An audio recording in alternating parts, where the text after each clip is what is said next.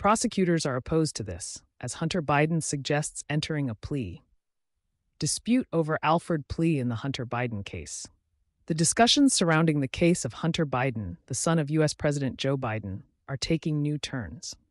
In recent weeks, Hunter Biden has proposed entering a so called Alford plea, which in the U.S. legal system represents a special form of acknowledging guilt.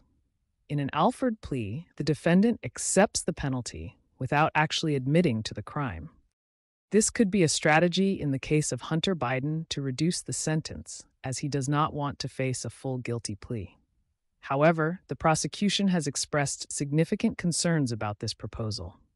They have positioned themselves clearly and stated that they would not agree to such a measure. A spokesperson for the prosecution indicated that the case is complex and that such an agreement could potentially jeopardize the integrity of the proceedings. The charges against Hunter Biden, ranging from tax evasion to illegal possession of weapons, are serious, and the prosecutors argued that they should not simply create a plea deal to expedite the process.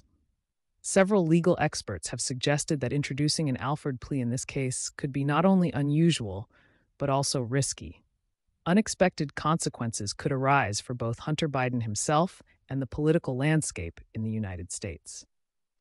Some analysts believe that such a commitment could be seen as an attempt to override legal difficulties during a time of great political division, and it could further exacerbate existing tensions. Additionally, there are political implications to consider.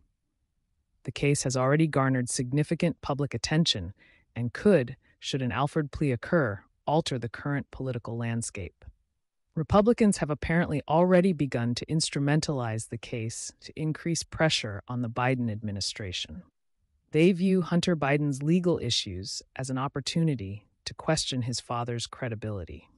One could even argue that the situation surrounding Hunter Biden is becoming a stress test for the presidential administration, which is already facing various crises. Opinions on the legal standpoint are divided. While some observers see an Alford plea as a sensible strategy to avoid unfavorable trials, others warn that such hasty and opaque decisions could set a dangerous precedent. In any case, the decision on how to proceed in this case is eagerly anticipated and could have far reaching implications for the legal and political structures in the USA.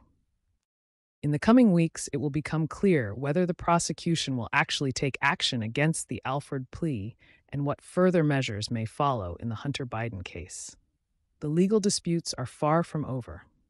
Author date Friday, September 6, 24.